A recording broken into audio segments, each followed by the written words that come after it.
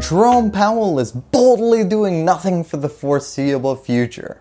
Set your calendars though because the Fed's next action was just bumped up to the end of 2023. In case of inflation, please slowly carve away at the glass. So why am I talking about a response moving so slowly that glaciers are currently trying to pass it? Well, because we just hit a fork in the road where Jerome Powell's ideology diverted from the previous chairman, Janet Yellen's ideology. She would have probably taken the off-ramp by this point while Powell's sticking to the highway. You see, the American Federal Reserve System is operating under a dual mandate, assigned to them by Congress. You have to fight inflation and maintain full employment. Sounds simple enough, right? Well, the problem is these dual mandates generally turn out to be dueling mandates. Are we here to throw water on the fire or gasoline? No wonder Yellen's term as Federal Reserve Chairman, as soon as that fire was starting to show signs of heat, well, throw a little water on it, keep inflation in check, and slow the economic growth that was creating new jobs. Now they achieved this by tinkering with the key interest rate. To briefly explain, this is, as the name would suggest, the one interest rate to rule them all. Essentially, it's the amount that the Federal Reserve is going to charge a bank to borrow money from them overnight. If you can get cash from the Federal Reserve for $0, well you're certainly not going to pay 1% to borrow it from a different bank. Similarly, if you have access to all this free cash, well you're going to lend it out on the cheap to borrowers because we can get more of it. Don't cost us anything. You start raising that rate charged on Federal Reserve overnight loans though, and all of a sudden banks start to charge each other a bit more, start charging consumers a bit more for loans, and money just generally finds a way of being more expensive to acquire. Great for fighting inflation, but not so great for the number of new job postings on Indeed. Enter Janet Yellen, Jerome Powell's predecessor and she was looking at an economy that had just gone through the motions of getting out of the recession that was caused by 2008. But the economy wasn't growing quite as quickly as anyone had hoped. Things were certainly heading in the right direction, but they were taking their darn time getting there. Bernanke had left Yellen with zeroed out Federal Reserve interest rates and it was just a bit of a waiting game. The question was, when do you pull up? Are you going to be a paper hands chairman and call it a day as soon as things start heading in the right direction? Or are you going to be a diamond hands chairman and ride that recovery to the moon? Chairman Yellen was operating under traditional Federal Reserve doctrine created in the late 1970s, a time when inflation was high and growth was low. Stagflation. Now at that point, America was facing a tough choice. Which one of these two problems are we going to fight? Whichever one we choose, the other one is going to be exacerbated. You fight inflation and growth is going to slow. You fight growth and inflation is going to peak. In the end, they decided to protect the cash over the unemployed. The Fed's success in conquering the double-digit inflation of the late 1970s created a legacy that Fed chairs sought to protect.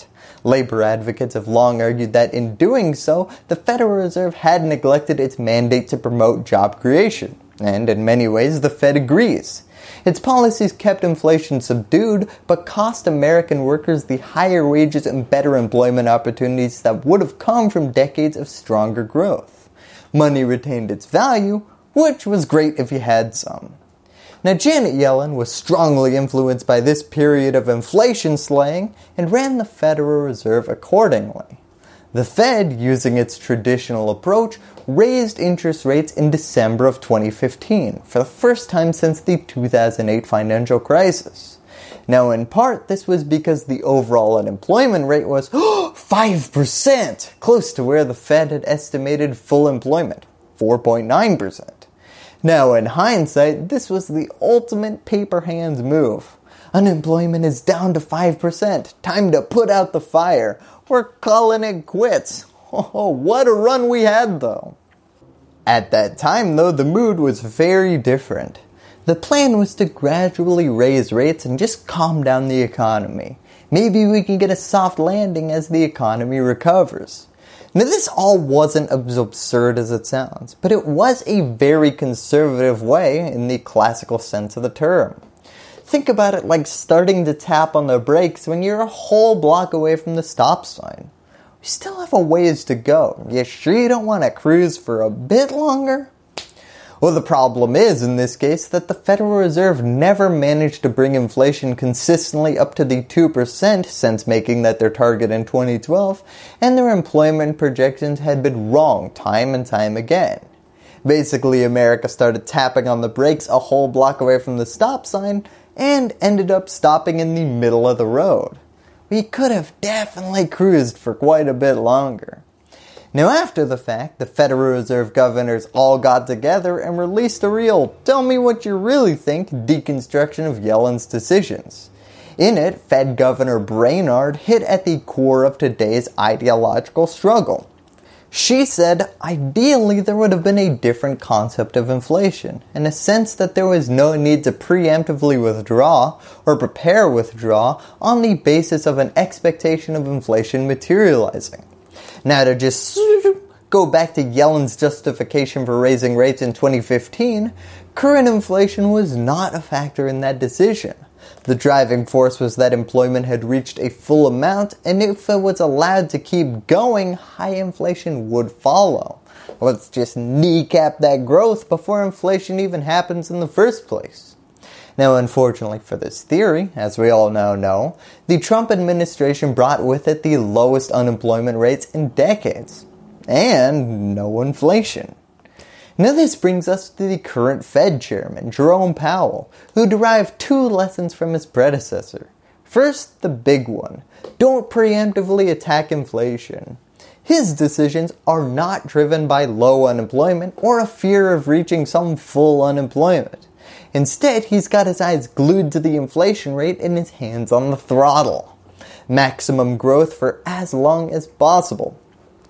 The new self-written mandate is not to aim for an average unemployment rate of say 4.9%, but rather to pursue an average 2% inflation rate. Now this means that Powell would let inflation overshoot the target during a recovery in order to make up for periods below 2% during the downturn.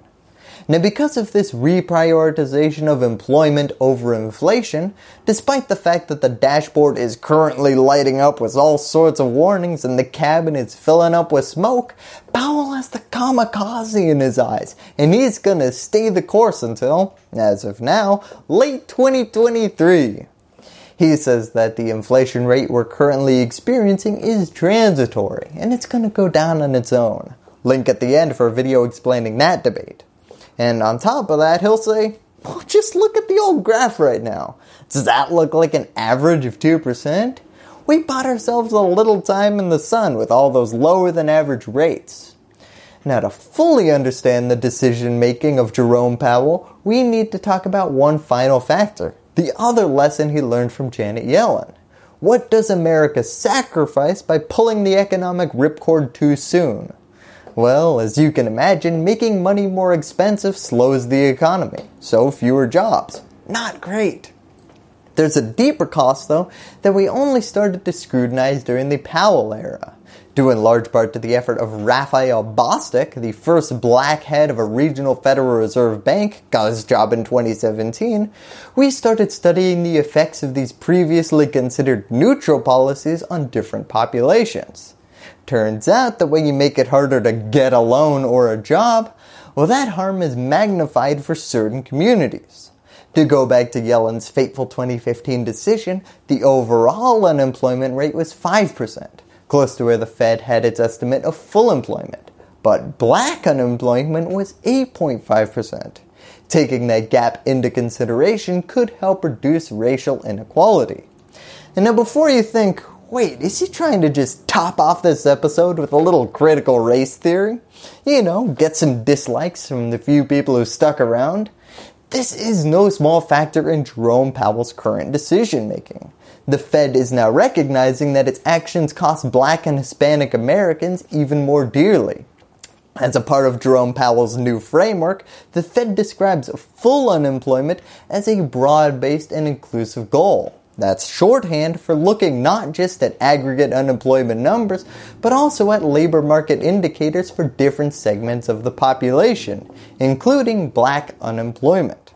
Pretty much every time I've ever heard Jerome Powell give a speech on anything, heck, even probably during his Starbucks orders, he mentions unemployment rates and economic statistics of minority populations. And it's clear that he's paying more attention than previous chairmen. As of now, things are not great either for that community. The black unemployment rate in May of 2021 was 9.1%, down from a pandemic peak of 16.7%, but still well above the pre-pandemic low of 5.2%, let alone white pre-pandemic lows of 3%. It seems that Powell is a bit more determined to help minorities that were left out of previous recoveries, where the Federal Reserve Bank responded sooner rather than later to the threat of inflation. So will this new strategy pay off? Well, some people don't think so. As inflation numbers continue to grow faster than predicted, this low interest rate line is becoming harder and harder to tell. Although, unlike the Federal Reserve, my interest is peaked. Thank you, and that's all I have to say about that. Hello YouTube! As I mentioned earlier, click here if you want to hear about the debate as to whether inflation is transitory or something more permanent. Thank you to my patrons for helping me put out my videos. If you want to support independent, nonpartisan news looking the overlooked, click on that link in the description. Like, subscribe, and do all that other fun YouTube stuff. And lastly, as always, thank you for watching.